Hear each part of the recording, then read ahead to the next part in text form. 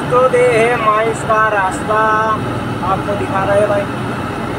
गाड़ी हम भर के निकाले हैं, अब ऊपर जाएँगे।